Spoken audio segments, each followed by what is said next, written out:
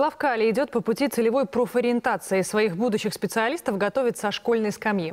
Потенциальных специалистов подбирают для Нежинского горнообогатительного комбината. Уже прошли первые встречи с участием работодателя, старшеклассников и руководства БНТУ, где будущие специалисты и будут получать целевое образование.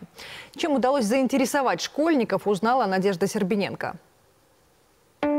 Сейчас в Любинском районе на Нежинском ГОКе активно идет стройка. Бурят две шахты для будущей добычи калийных удобрений. На площадке трудится около 500 специалистов, но уже через три года, когда ГОК заработает в полную силу, количество вакансий резко увеличится. Пока в Любинском районе активно идут строительные работы здесь, в центре Минска, в БНТУ. Высшее образование по горно-технологическому профилю получают сотни студентов. Но руководство Славкалия приняло решение пойти еще дальше и оказывать поддержку тем студентам, которые будут у них работать. Это выплата дополнительных стипендий, ежегодные стажировки на Нежинском ГОКе и бесплатное проживание в общежитии. Такая стимуляция должна заинтересовать старшеклассников сделать выбор в пользу не простых, но и высокооплачиваемых горных профессий. Будут применяться новые технологии, новое оборудование.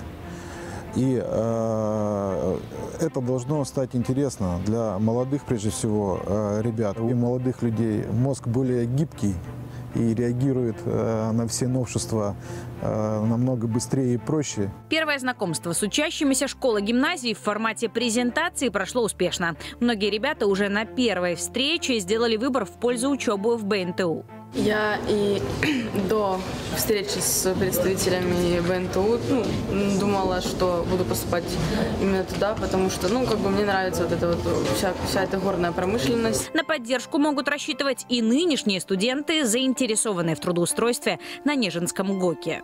Сейчас БНТУ как раз на это и нацелен, чтобы обучение было адресным, а не общим. И если готовятся специалисты, то готовятся под конкретное предприятие с возможностью уже на втором курсе отправлять их на практике именно на эти предприятия, чтобы они и знакомились и с технологиями, и с оборудованием. Еще в 2018 году, когда набор кадров для Нежинского ГОКа только начинался, около 300 белорусов, из них 80 из Любани прошли стажировку и успешно устроились на работу. Теперь рабочим процессом на глубине управляют в том числе и хрупкие девушки. Среди них оператор-машинист Мария Субботина.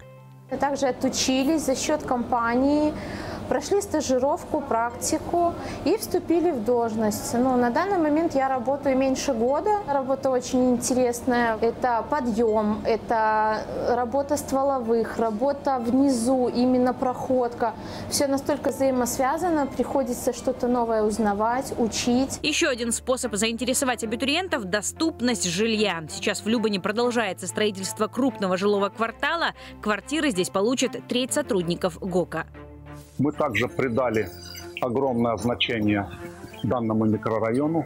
Для его разработан генплан, который станет лучшим генпланом не только города Любани, я считаю одним из лучших генпланов Минской области. Такие меры поддержки от крупного бизнеса, возможность для молодежи остаться в родном городе с гарантированным первым рабочим местом, а еще уменьшить миграцию в столицу и помочь развитию региональных городов. Надежда Сербыненко и Андрей Градобоев, агентство теленовостей.